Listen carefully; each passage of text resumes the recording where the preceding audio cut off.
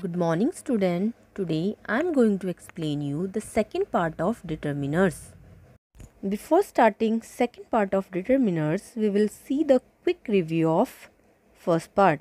In first part, we read what are determiners and different kinds of determiner. I have explained you the articles, demonstratives and possessive. In today's video, I will explain you numeral determiners and quantifiers. Numeral determiners. Numerals are determiners which indicates number of the noun. There are two types of numeral determiners, cardinals and ordinals. Cardinals 1, 2, 3, 4 etc.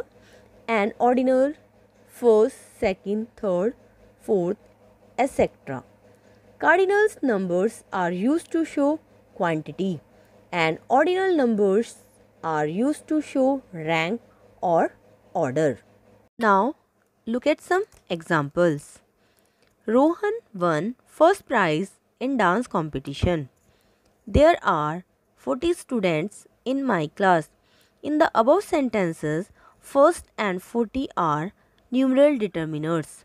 Some other examples are both, some, many, few, all, several, each, every, either, neither, etc. These are some example of numeral determiners. Next are quantifiers. Quantifiers are determiners which denote an unspecified number or quantity of something. They are enough, lots of, little, any, more, less, no, none of, some, etc. For example, I had to face a lot of troubles in reaching your house. In the above sentence, a lot of is a quantifier and is used to denote an unspecified number which describing the noun troubles. Some other examples of quantifiers are we have made little progress in this matter. Many people have seen this movie. On either side is a narrow lane.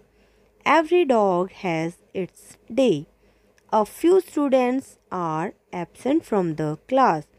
In the above sentences, the underlined word little, many, either, every, a few are determiners